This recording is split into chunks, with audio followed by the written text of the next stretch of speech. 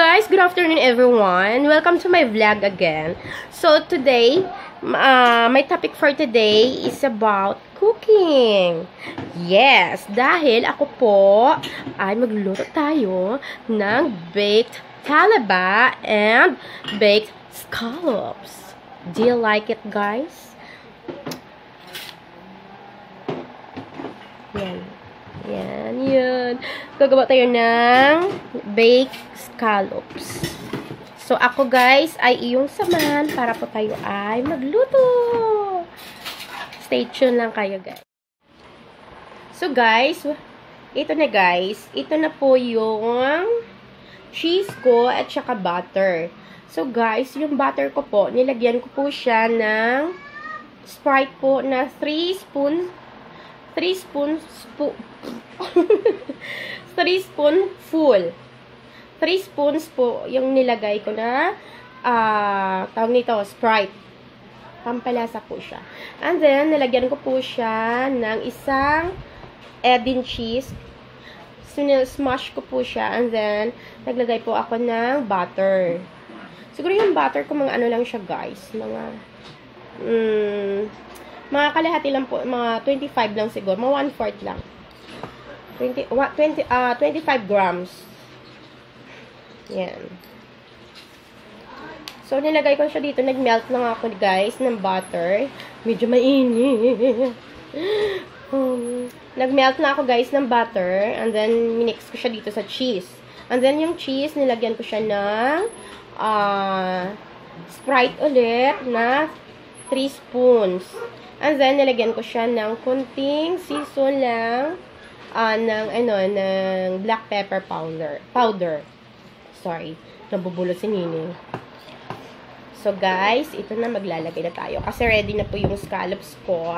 Pasensya na sa lagayan kasi dito ko siya nilagay. Kasi tinanggalan na namin ng ano, ng mga ganito, ang takip guys. So, may meron tubig-tubig pa. So, kailangan natin tanggalin para po ito ay maging masarap. Na-boiled ko na siya guys ha. Po isang boiled lang po. And then, nilagyan ko siya ng ano na, tinanggalan namin.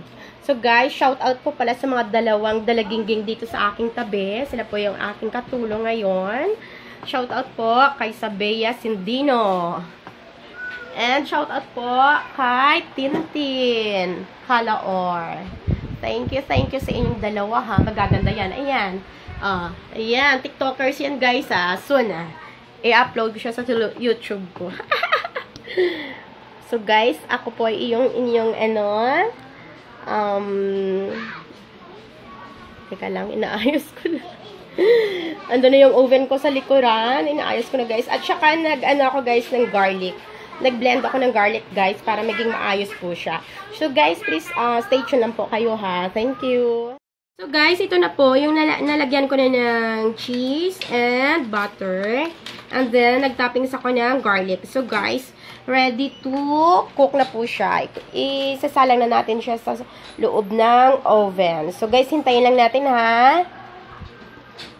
Yan. O, diba? Ang ganda, guys.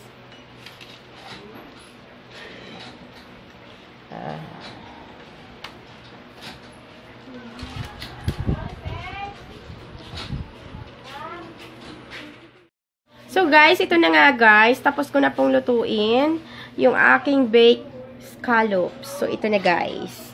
Yan. Nilagay ko siya sa upuan kasi sobrang init. My goodness. Ay! Kalabaw amin.